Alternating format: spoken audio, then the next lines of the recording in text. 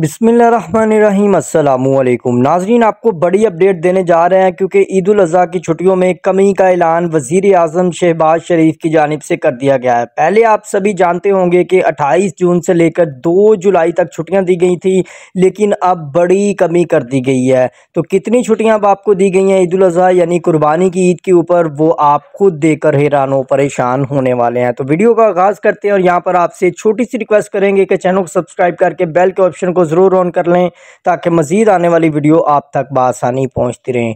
तो नाजिन यहाँ पर आपको बता दें कि वज़ी अजम की जानब से अजलास तलब किया गया, मशवरा किया गया, लेकिन फ़ाइनल नोटिफिकेशन तमाम सरकारी दफातर स्कूल कॉलेज़ और यूनिवर्सिटी को भिजवा दिया गया है।